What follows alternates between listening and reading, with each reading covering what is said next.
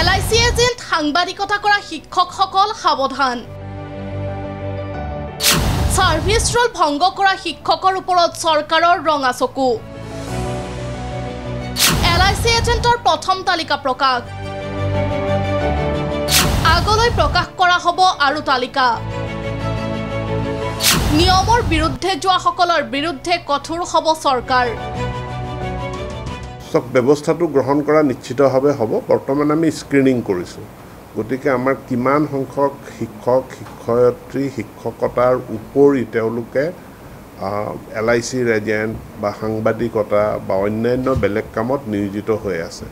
আৰু আমাক ছাৰ্ভিচ ৰোলে যিখিনি পাৰ্মিট নকৰে যিবিলাক এক্টিভিটিছ পাৰ্মিট নকৰে তাত চৰকাৰখনে ব্যৱস্থা গ্ৰহণ কৰিবলৈ বাধ্য। এইচ এছ এল চিত ভাল ফল দেখুওৱা বিদ্যালয়ক দিয়া হ'ব ইনচেণ্টিভ সকলে ভাল ফলাফল কৰিছে কেৱল ছাত্ৰ ছাত্ৰীয়ে নহয় বিদ্যালয়সমূহ যিসমূহ বিদ্যালয়ে ভাল ফলাফল কৰিছে।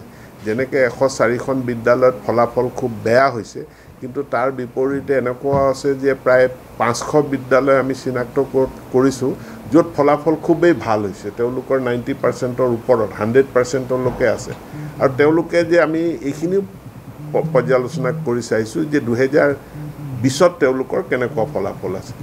কণ্টিনিউৱাছলি কিছুমান বিদ্যালয়ে ভাল ফলাফল দেখুৱাই আহিছে। গতিকে এই ভাল ফল ফলাফল দেখুওৱা বিদ্যালয়সমূহক ইনচেণ্টিভাইজ কৰা তাৰ কাৰণেও আমি এটা কথা চিন্তা কৰি আছোঁ।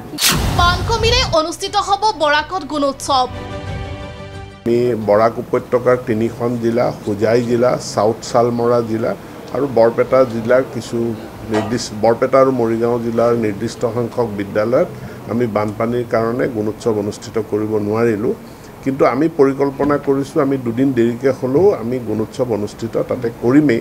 আৰু এই সকলো ফলাফল সংগ্ৰহ কৰাৰ পাছতহে ইয়াৰ সামগ্ৰিক মূল্যায়নটো আমি কৰিম। চৰকাৰী শিক্ষকে পালন কৰিব লাগিব চৰকাৰে দিয়া প্ৰতিটো দায়িত্ব। প্ৰয়োজনত বিভাগৰ বাহিৰৰ কামো কৰিব লাগিব। অম্বুবাচী মেলা এটা সপ্তাহত হয় নিৰ্দিষ্ট এটা সময়ত হয় কেইটামান দিনৰ কাৰণে হয়। বানপানী সদায় নহয় নিৰ্বাচন সদায় নহয়। তো তাৰ কাৰণে দুদিন এদিনৰ কাৰণে কোনো শিক্ষক বা যিকোনো কৰ্মচাৰীক নিয়োগ কৰিলে ইমান হৈ হাল্লা হুলস্থুল হ'ব লাগে বুলি মই নাভাবোঁ। কিন্তু তাতকৈ বেছি আমি গুৰুত্ব দিব লাগে যে বিদ্যালয়সমূহ যে যধে মধে মন গ'লে বন্ধ হৈ যায়। প্ৰধান শিক্ষকৰ মন গ'ল। আনকি এনেকুৱা কথাও শুনিছোঁ এজন শিক্ষকৰ সদস্যৰ ঘৰত তেওঁৰ বিয়া আছিলে তাৰ কাৰণেও বিদ্যালয়খন সেইদিনাখন ছুটি দি দিয়া হৈছে। তাত কিয় মানুহবিলাকে মাত নামাতে। Apurba Kumar কাৰ্জীৰ report D Y three six five.